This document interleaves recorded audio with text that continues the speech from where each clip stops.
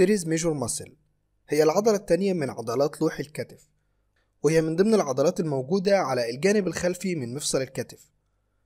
وبتمتد ال teres major muscle من الزاوية السفلية للوح الكتف لحد الشفة الداخلية لل intertubercular groove of the humerus